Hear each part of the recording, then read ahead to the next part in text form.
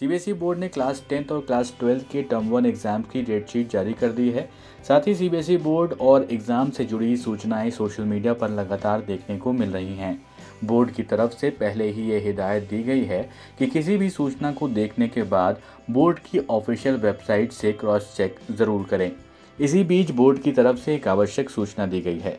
एक सर्कुलर निकालकर बोर्ड ने बताया है कि जो दसवीं और बारहवीं कक्षा के छात्र अपने स्कूल के शहर में नहीं हैं और कहीं और रह रहे हैं, सीबीएसई उन्हें उचित समय पर अपने संबंधित स्कूलों से परीक्षा केंद्र के शहर को बदलने के लिए अनुरोध करने के लिए सूचित करेगा। साथ ही आपको बता दें कि सीबीएसई बोर्ड के द्वारा दिए गए निर्देशों का पालन सभी स्कूल करेंगे। बोर्ड के बताए गए समय के दौरान ही आपको आवेदन करना होगा। यदि समय पर छात्र आवेदन नहीं कर सके तो परीक्षा केंद्र के शहर में कोई बदलाव नहीं किया जा सकेगा। इस सूचना को अपने दोस्तों तक पहुंचाएँ और अभी तक आपने हमारे चैनल को सब्सक्राइब नहीं किया है तो ज़रूर सब्सक्राइब करें और देखते रहें जागरण जोश डॉट कॉम।